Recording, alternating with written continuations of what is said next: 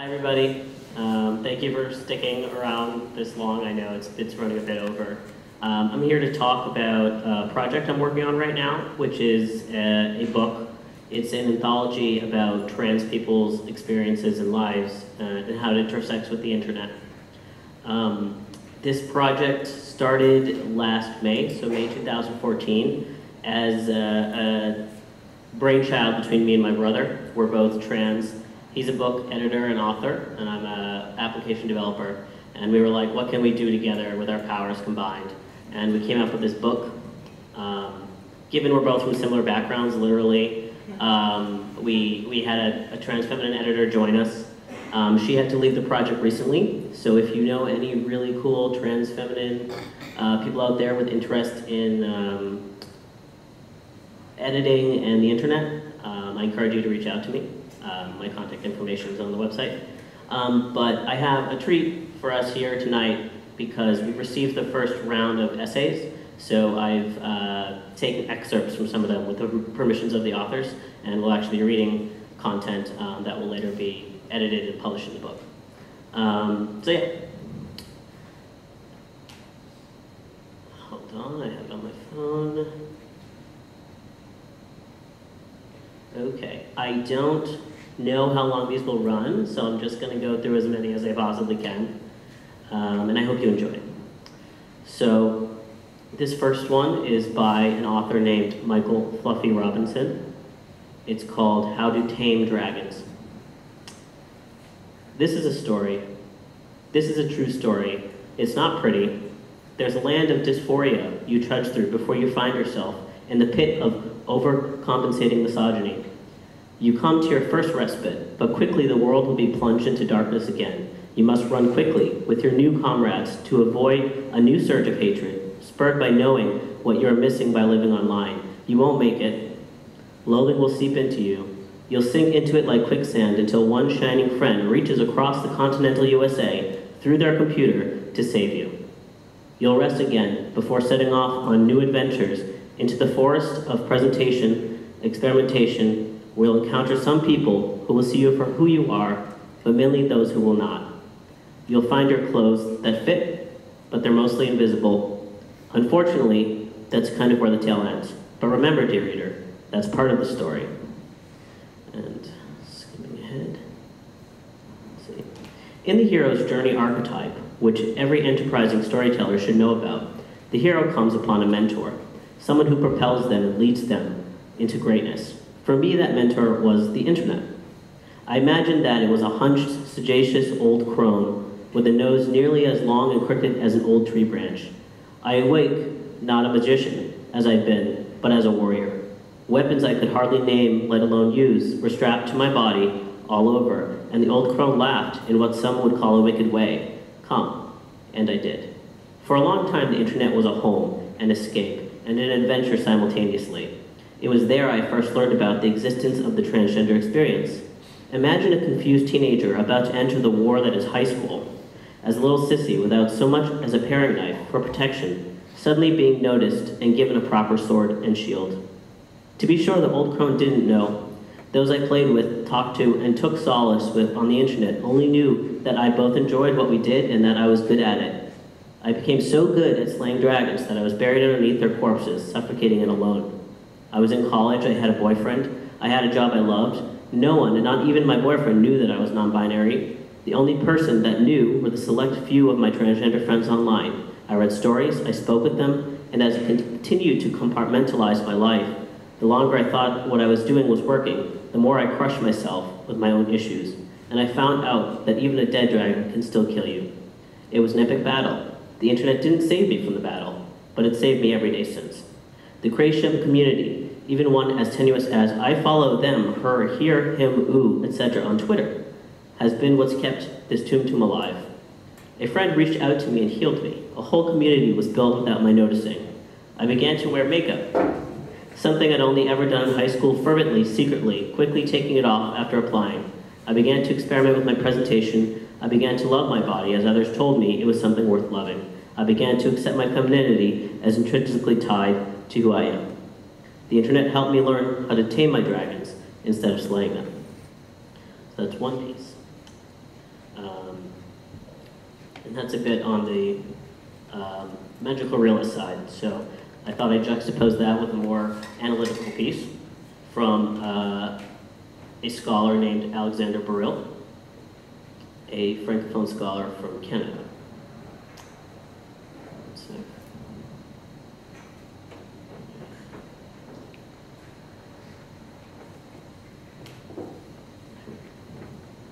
This is called Anglo-normativity goes viral on the internet. Information access issues for Francophone trans people. I began my transition in 2008, when the internet was already firmly implanted in modern life. As an academic, my first instinct after I realized I wanted to transition was to use the internet to gather basic information. I was shocked to find what little information was available on the topic, even on Google. Then I realized my keywords were in French. As a scholar working on gender, queer, trans, and disability issues, I am used to searching in English. In fact, most of the literature related to my research and teaching interests are in English. However, when it comes to something that touches the deepest, most intimate, most emotional parts of your life and yourself, default behaviors often conform to ideas, patterns, and behaviors learned long ago. Language skills are among these. Because my linguistic identity is that of a Francophone Canadian living in the province of Quebec, I first conceptualized my awakening trans consciousness in French. Five years later, 2013, I underwent bottom surgery in a country where neither English nor French is widely spoken. Imagine my surprise when my partner informed me that semi-conscious after general anesthesia and under the influence of powerful pain medication, my first words and subsequent communications with the medical team were in English. I had so internalized the idea that receiving appropriate care after my surgery meant speaking English to the surgeons, nurses, and anesthetists, and other professionals that I spoke English as soon as I woke up, apparently disregarding the instincts and expectations regarding first language use in exceptional situations. Placed side by side, these two experiences provide an interesting starting point for intersectional critical reflection on the different identity dimensions interlocked with trans bodies, identities, practices. I would like to look briefly at how the linguistic dimension of identity intersects with trans identities. I offer critique of the Anglo-normativity that characterizes our contemporary world in a variety of spheres, cultural, academic, economic, including the internet. I argue that despite the desire of social movements, most social movements in Anglophone contexts remain completely unaware of the fact that being Anglophone also represents an unmarked identity, as with other dominant identities. We already know that the internet has been and is still a powerful tool that empowers and provides access to information for trans communities.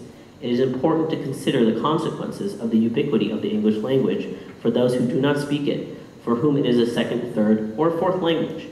I assert that Anglo-normativity places a burden on trans people for whom English is not their first language. And I thought he had an interesting conclusion.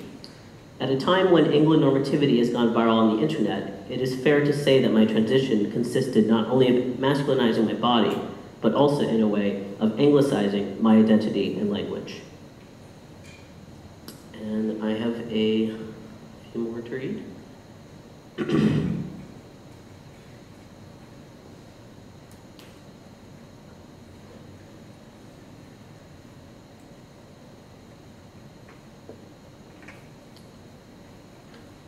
This is by a writer named Evelyn Duchesne.